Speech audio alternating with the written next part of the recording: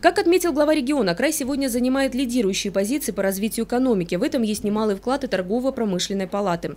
Совместными усилиями удалось создать уникальную законодательную базу для привлечения инвестиций. За образец ее берут уже и другие регионы России. Авторитет с каждым годом растет нашей торгово-промышленной палаты. Туда входит э, более 5 тысяч предпринимателей. Пять с половиной уже. А, Значит, есть доверие, значит, вы плотно работаете, и мне очень импонирует, что во всех э, секторах экономики вы практически представлены, и, конечно, особенно вот акценты последние годы в малом бизнесе, и э, это то, что, естественно, мы должны поддерживать, это будущее а, экономики а, нашего края. Обсуждали на встрече также причины, которые мешают сегодня развитию малого и среднего бизнеса. По словам главы торгово-промышленной палаты, административных барьеров со стороны контролирующих органов стало меньше. Но успешно вести свое дело и отстаивать права предпринимателям скорее мешает отсутствие юридической грамотности.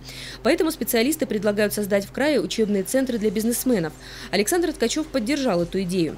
Поинтересовался губернатор и как идет подготовка к двум крупным событиям – инвестиционному форуму в Сочи и Кубанской ярмарке.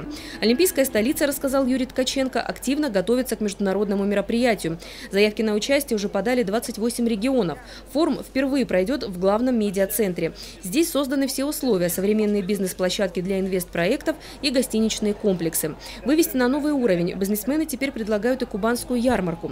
Она ежегодно проходит на территории Краснодарского ипподрома, и количество участников постоянно растет, не говоря уже о покупателях. Прошлой осенью ярмарку посетили свыше 100 тысяч человек. По кубанской ярмарке у меня все же есть предложение, мы уже вырастаем из этих штанишек. Ну, вот мы форум тоже начинали там с 400 да, человек, и ярмарка сегодня у нас за тысячу каждый год. Может быть, надо все же с Мин- Минсельхозом России поработать, чтобы мы сделали как минимум хотя бы южную, а если не российскую ярмарку. Территория э, ипподрома, мы ее готовы всю заполнить. И п- павильоны также на тех же условиях, как форум мы делаем, так пусть все регионы участвуют. Отдельно затронули на встрече тему субсидирования бизнеса. Как подчеркнул Александр Ткачев, край продолжит финансировать программы по поддержке малого и среднего предпринимательства. Глава торгово-промышленной палаты, в свою очередь, предложил немного изменить условия выдачи субсидий. По его мнению, приоритет должны получать именно те, кто производит продукцию, а не просто занимается перепродажей товаров. Галина Моисеева, телекомпания ФКТ.